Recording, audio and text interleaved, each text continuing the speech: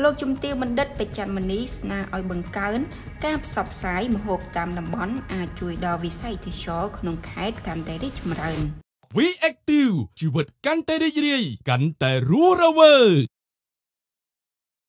លោកជំទាវបណ្ឌិតបេចិនមនីស្នើឲ្យបង្កើតការផ្សព្វផ្សាយម្ហូបតាមតំបន់ដែលអាចជួយដល់ការបង្កើនទីផ្សារកសិផលក្នុងតំបន់ផង និងផ្សព្វផ្សាយទេសចរក្នុងតំបន់ឬខេត្តផង ការថ្លែងរបស់លោកជំទាវបណ្ឌិតបែបនេះនេះឱកាសចូលរួមក្នុងកម្មវិធីពិព័រណ៍កសិកម្មភូមិកសិផលខ្មែរកាលពីថ្ងៃទី1ខែមិថុនាឆ្នាំ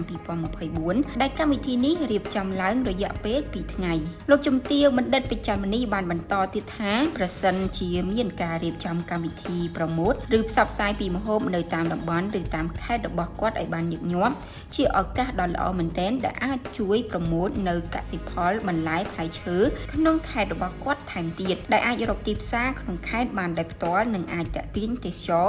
ជាតិនិងអន្តរជាតិផងដែរជាមួយគ្នានេះលោកជំទាវបណ្ឌិតពេជ្រច័ន្ទមនីបានបញ្ជាក់ដែរថាកន្លងមកមានការផ្សព្វផ្សាយពីម្ហូបនៅតាមតំបន់នេះចំពោះខេត្តមួយចំនួនរួចមកហើយតួយ៉ាងខេត្តបាត់ដំបងត្រូវបានអង្គការ UNESCO ចុះក្នុងបណ្ដាញទីក្រុងច្នៃប្រឌិតផ្នែកម្ហូបអាហារដែលធ្វើឲ្យទីក្រុងនេះអាចយកធនធានផ្នែកអាហារនេះដើម្បីតាក់ទាញទេសចរបរទេសក្រៅពីខេត្តបាត់ដំបងក៏មានខេត្តមួយចំនួនផ្សេងទៀតដូចជាខេត្តកំពតដែលមាននំបញ្ចុកទឹកម្ហិចជាម្ហូបប្រចាំតំបន់និងនៅភូមិព្រះដាក់ខេត្តសៀមរាបដែលមាននំអាកោត្នោតកំពុងពេញនិយមទទួលទានពីសំណាក់ភ្ញៀវទេសចរជាតិនិងអន្តរជាតិដោយមិនដែលរំលងទីតាំងមួយនេះឡើយនៅពេលទៅសៀមរាបម្ដងម្ដង